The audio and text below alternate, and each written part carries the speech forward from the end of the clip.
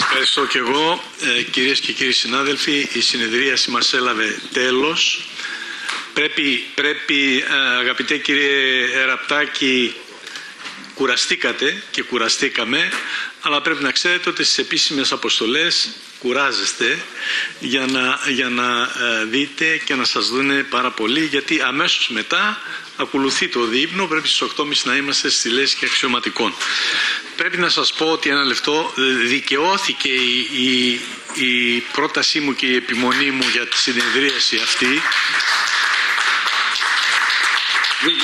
διότι, διότι έγινε μία μοναδική συνεδρίαση συνεδριάζουμε τέσσερις ώρες έχουν λάβει το λόγο και τοποθετήθηκαν 29 άτομα, συνάδελφοι βουλευτές από το Ελληνικό Κοινοβούλιο και από τα ξένα κοινοβούλια, ε, αυτοδιοικητικοί και εκπρόσωποι των προσφυγικών ε, σωματείων.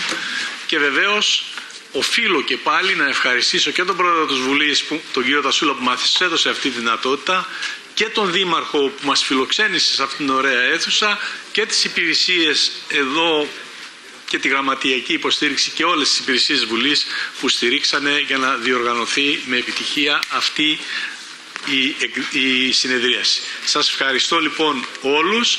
Ε, καλή συνέχεια. Θα τα πούμε σε λίγο στο, στο δείπνο στην Λέσχη Αξιωματικών.